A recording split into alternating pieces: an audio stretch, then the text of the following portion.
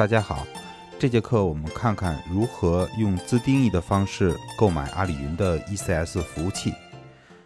阿里云 ECS 服务器有很多种购买方式，最简单的方法是直接购买官方推荐的配置，价格很吸引人，但是里面会有一些无奈，不一定适合自己的需求。完美的方式是根据自己的需求来定制配置。可是自定义的选项太多了，很多小伙伴难以掌握。通过这个视频，把我的一些购买经验分享给大家。最终的选择权还是在买家自己手里。首先，我们用浏览器打开阿里云的首页，找到主导航，鼠标放在产品上，下拉菜单的第一列，弹性计算里的第一个就是云服务器 ECS。点击打开云服务器 ECS 的主页面，点击那个蓝色的立即购买按钮。这里需要登录，如果没有账号，免费注册一个。登录后显示的界面就是自定义购买界面，看上去很复杂。之前如果选择过配置，这里会有保存记录。我们先从第一行的计费方式说起，选择包年包月。第二行的地域，比如我的网站北京访客比较多，选择华北的机房。北京属于华北，但是华北有很多机房。另外，现在华北五有优惠。关于不同地域之间的区别，点击那个教我选择地域这个链接查看。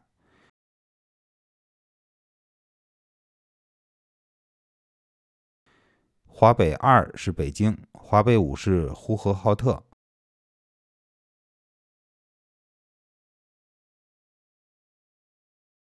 另外，下面对应的价格可以按照一年、一个月、一周来计算。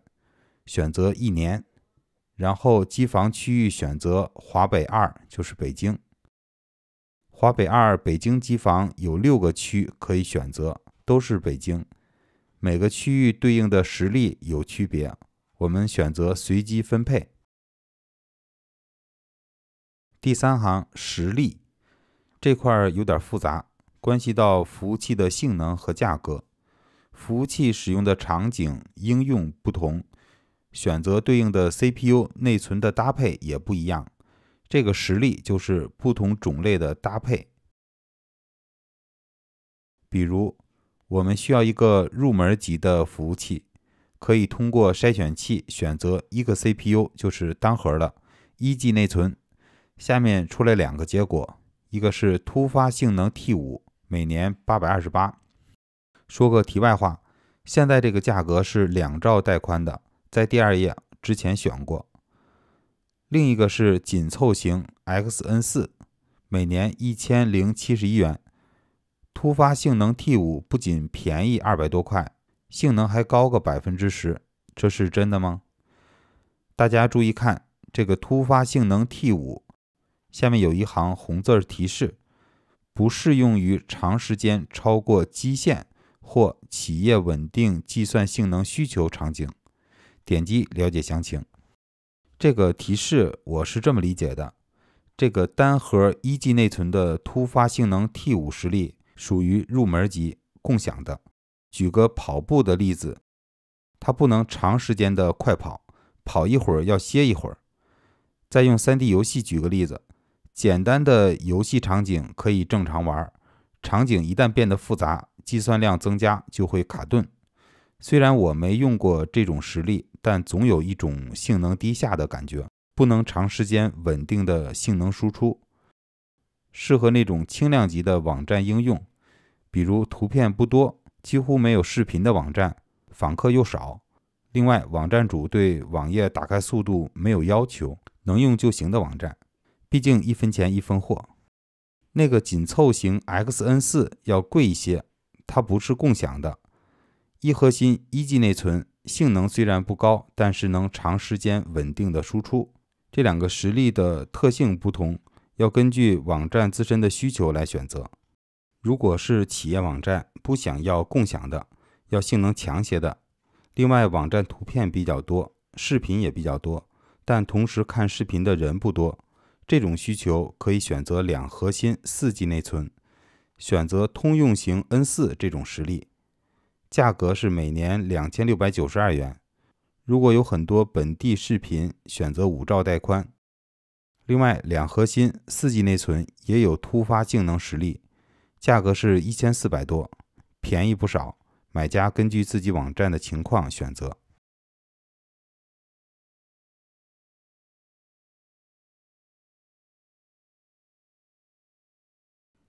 第四行镜像，这里主要选公共镜像和镜像市场。公共镜像是选系统、选版本，自己安装和管理服务。WordPress 网站不建议选择 Windows 系统。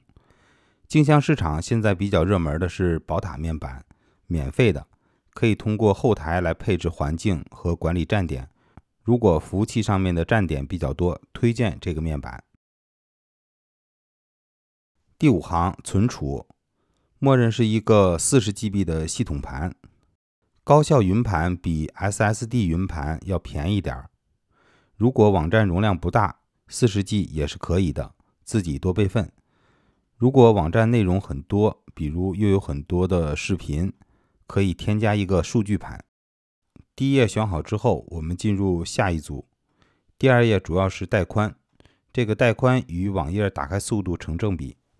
长时间使用建议至少两兆起步，预算充足的话建议四兆起，用起来会比较舒服。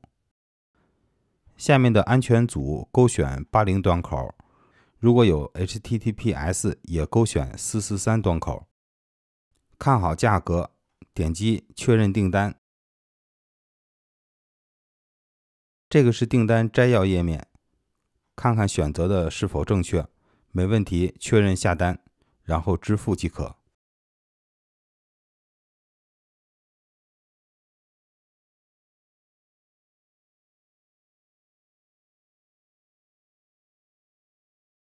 购买 ECS 服务器，除了自定义的方式，还可以使用阿里云官方推荐的购买方式。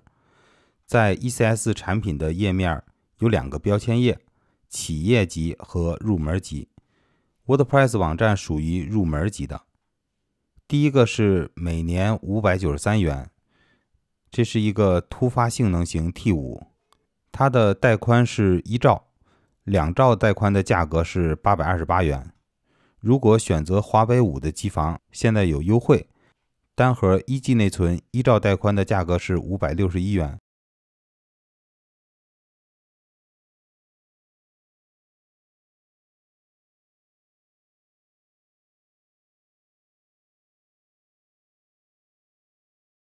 也是确认订单、支付购买。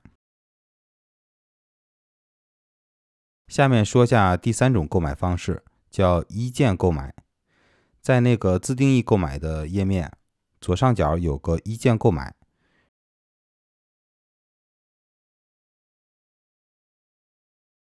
这个界面简洁很多，缺点是实例不多，只提供几个常见的实例，都是共享的。不能选择镜像市场。阿里云 ECS 服务器这些参数会经常发生变化，这个课程仅供参考。这节课的内容就到这里，我们下次课见。